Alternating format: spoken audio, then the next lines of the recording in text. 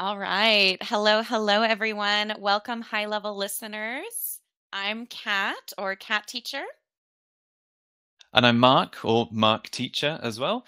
Thank you very much for joining. Uh, we're really glad to have you here for our first ever season of high level listening live classes and our first ever episode. Um, we'd like to begin by introducing ourselves and telling you who we are.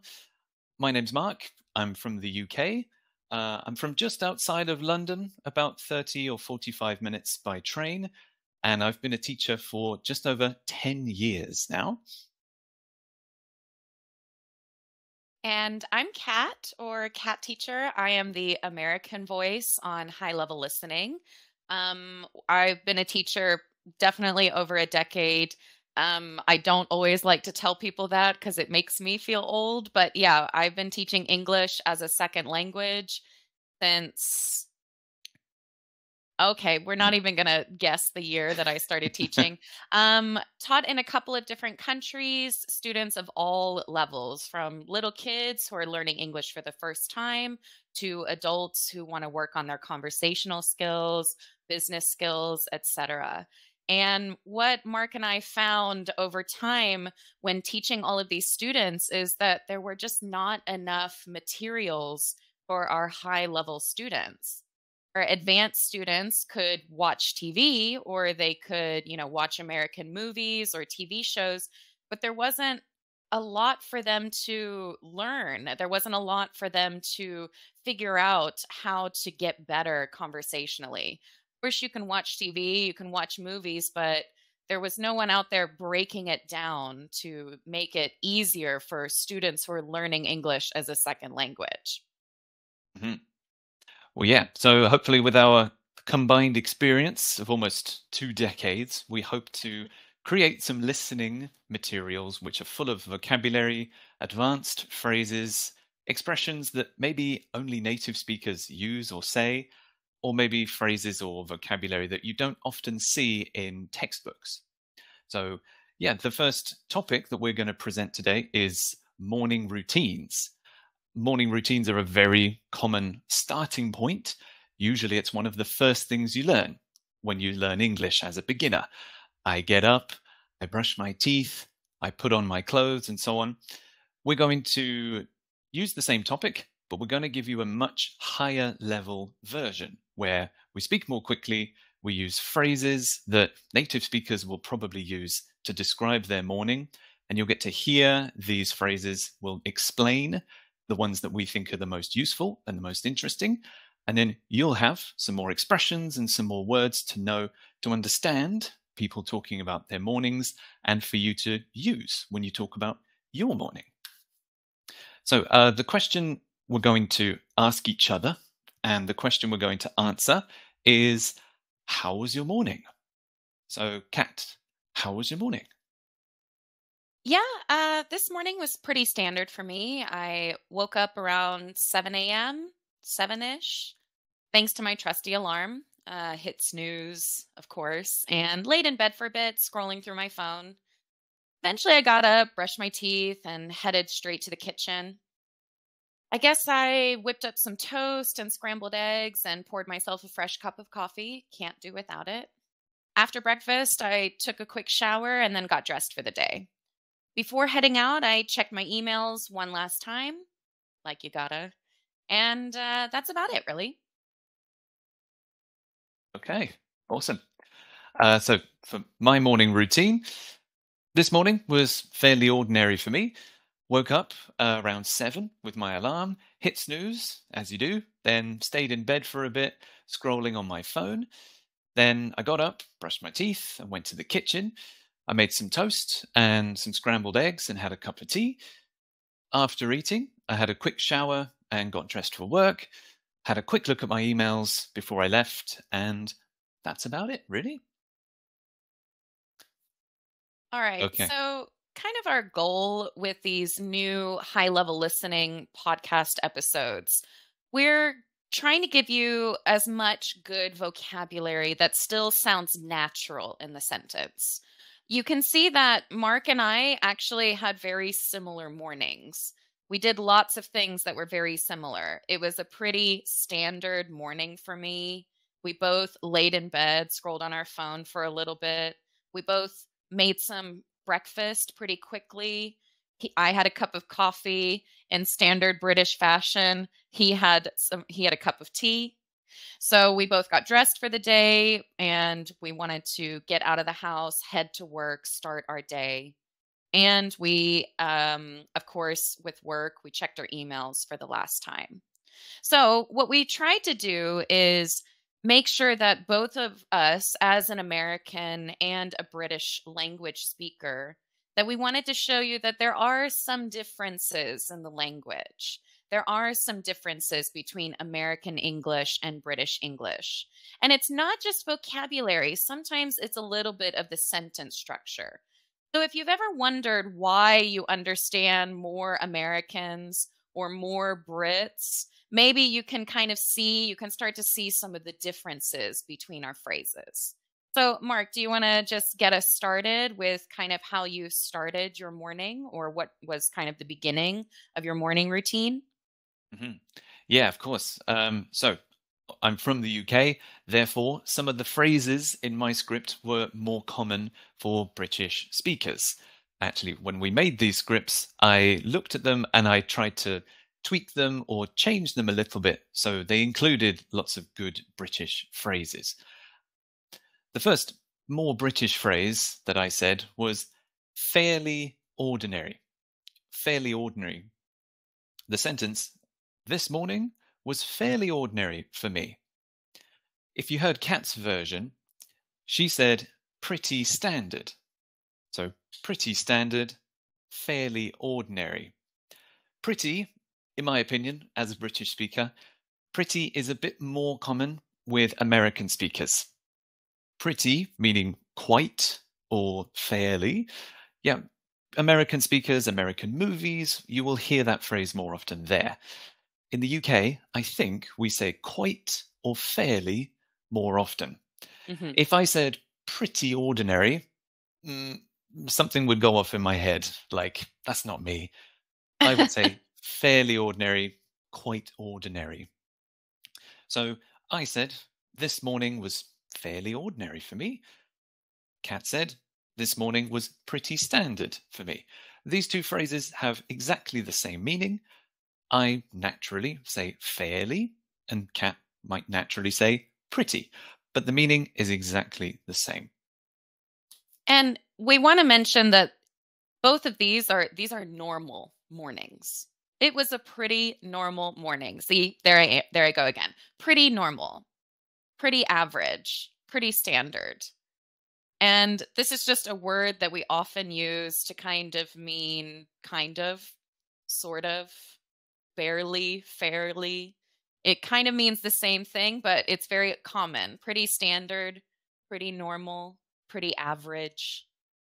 These are pretty common. phrases yeah, that we use that we use quite often. Okay, quite often, especially in commonly spoken and just chatting with friends. It's pretty common. It's hmm. pretty mm. common. Mm. It's fairly common or it's quite common. I feel like as a Brit, uh, if I have to say pretty, or if I try and say pretty, I even Americanize my accent a little bit. I say pretty. Yeah, it's pretty good. It's pretty good. Oh, it's pretty hot. It's pretty nice. I have to say pretty, where the T's sound like D's. Yes. Like an American accent. Like I even have to change the way I do it to use that word.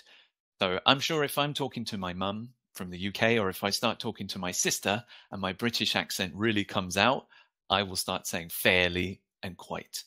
Like it was fairly warm outside. And fairly cold.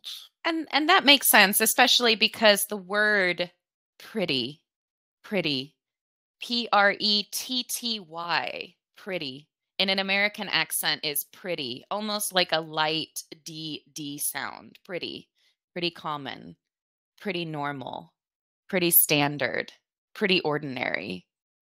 So we often, I mean, I can I can see why if you do start to use it, Mark, that you would use it more with the American. Otherwise, pretty, pretty, it makes me sound like Mhm. I'm I'm trying to be British. Pretty, pretty. oh, she's pretty. Hmm. Pretty. Yeah, right. I've got two choices in British. I can go like really full on British and skip the T's and say pretty, pretty, no T's, pretty good, pretty boring. I have to go like maximum, turn it up to a, hundred, or I say pretty expensive, pretty ordinary, and that I don't know. Again, it doesn't feel right. It doesn't feel right. So it is more common in British English, and uh, it's less common. It's less common Mm. in British English, more common in American English. Mm, So the next thing that I think most people do when they first wake up is actually they just lay in bed for a bit. Okay? They just lay in bed for a bit. Lay in bed for a bit. Now, I'm talking about something that happened before or happened this morning. So I said I laid in bed, laid in bed for a bit, laid in bed, laid in bed for a bit. I laid in bed for a bit. I laid in bed for a bit, meaning I didn't get up from bed. I didn't get up from my bed. I just was laying back, opening my eyes, and for a short period of time, for a few minutes, for a bit, I laid in bed for a bit. Hmm. Yeah, sure. I, it's pretty normal for me. First, I wake up. So I wake up, my eyes open, but I don't get up because get up is go off the covers and get out of bed. Often I wake up and I don't want to get out of bed. Maybe it's cold outside. I'm too comfortable. Um, I usually grab my phone and I, like in the script, said, uh, what did I say? Scrolled through my phone. I scrolled through my phone a little bit. So that's me laying in bed. In my version, I said stayed in bed.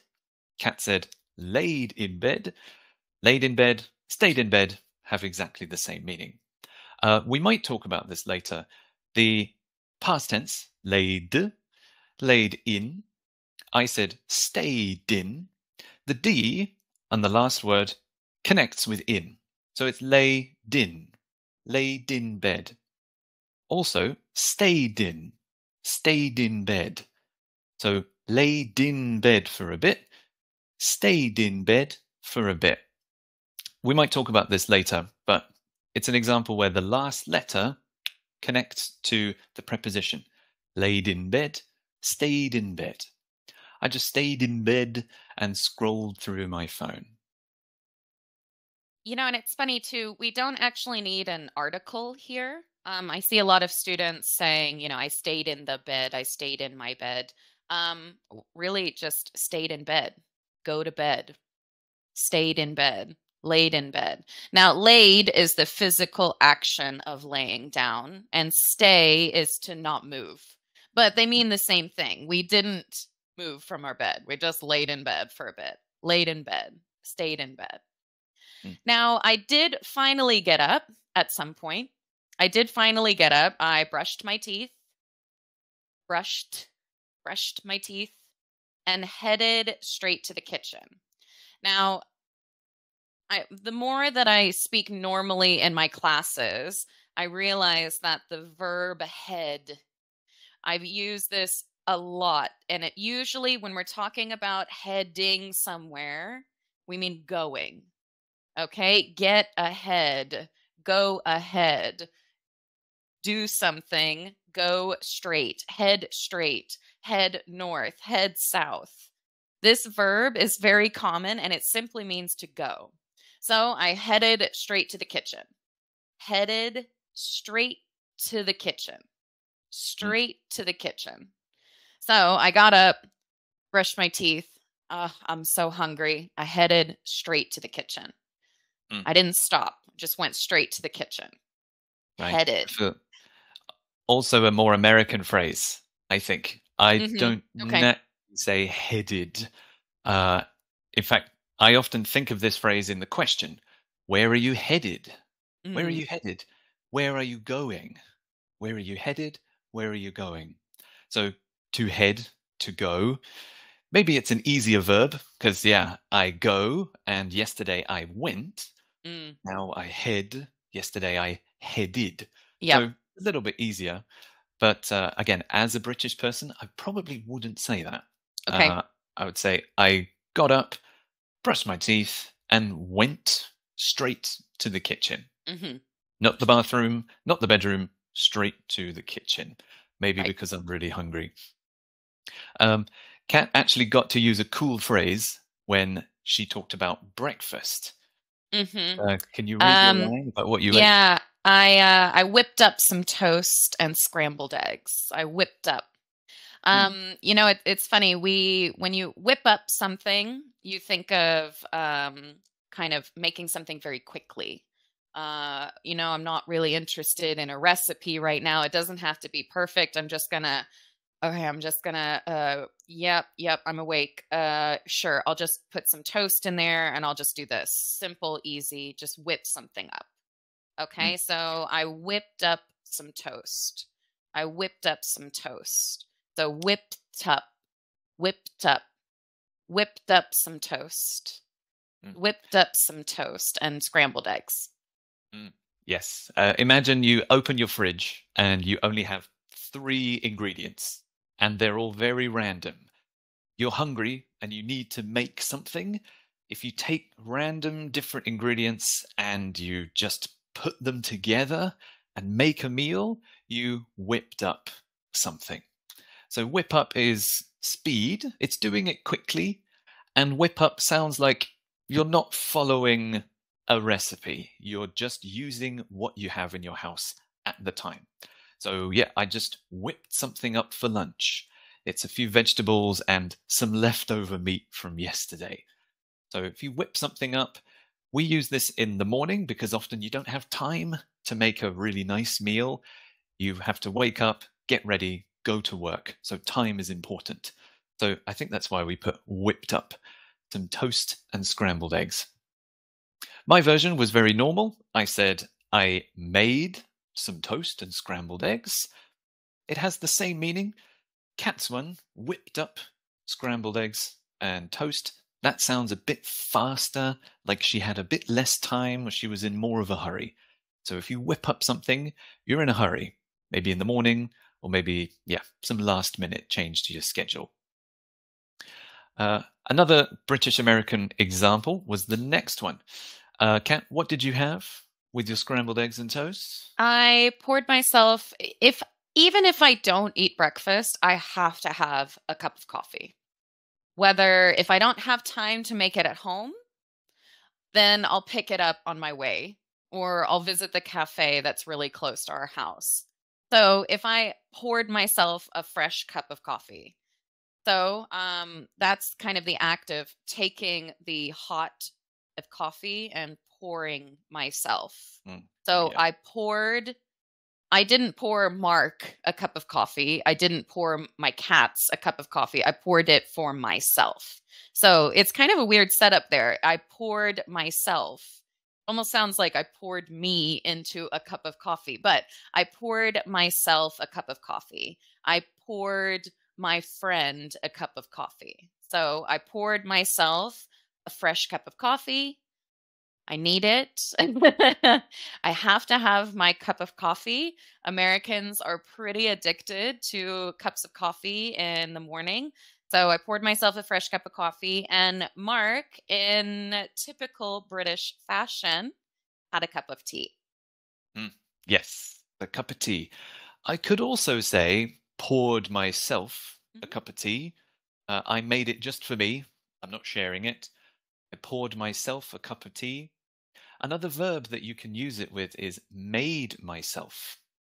I made myself a cup of tea, or I made myself a cup of coffee. Uh, when you're making food, you can also use made myself. Maybe I made myself some toast and scrambled eggs. Again, that is for me. I didn't make enough to feed my or children or whoever. It's just for me. I made a small portion. I made myself some toast. I poured myself some coffee. I made myself a cup of tea. Yes, classic British drink. You can drink tea in the morning, in the afternoon, in the evening. Some people drink tea before bed. I think we have a slight tea addiction. Of course, there are loads of people who also drink coffee. Coffee is super popular in the UK. We have Starbucks, we have big coffee chains, but tea uh, is still number one, just about. It's usually a drink you. British. Uh, yes, very true. Uh, it's probably something you drink at home. You go mm-hmm. in England, I think you go out for coffee, or you meet in a coffee shop. Um, but at home, everyone has tea or tea bags. If you have guests, you always offer them a cup of tea or coffee. So you go out.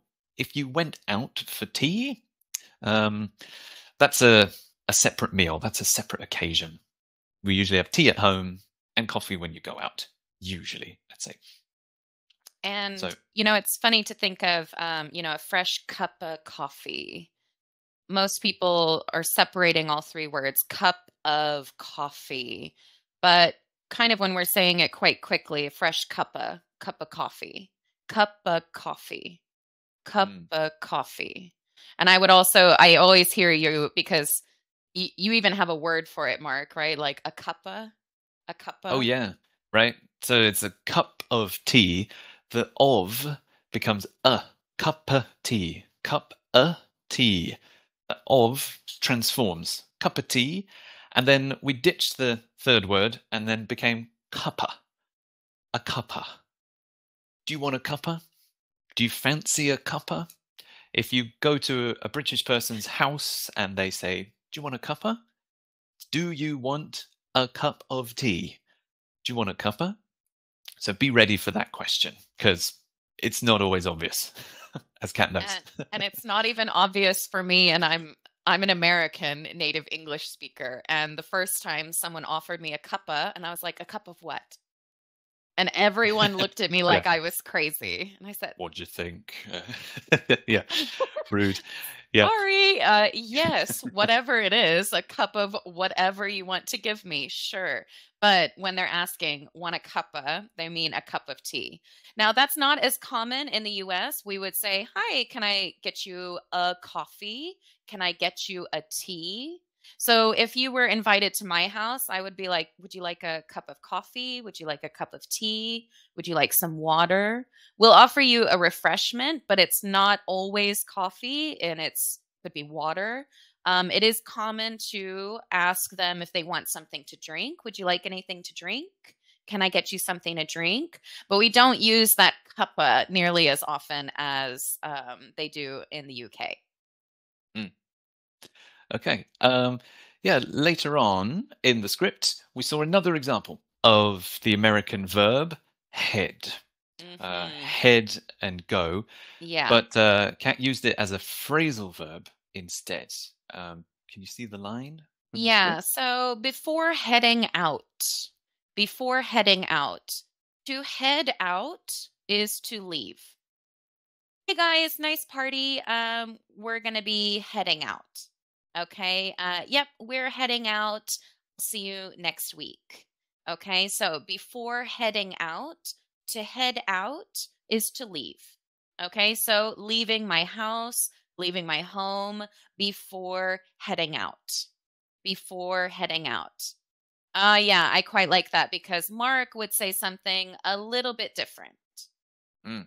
Yeah, there is a British version of this uh, as the phrasal verb. If I say, "Oh, look at the time. I've got to head off." Kat said head out. Mm-hmm. I would say head off. You even said that off. in an American accent. Head out. head out. Right. Uh-huh. It went straight up my nose. Head out. Yeah.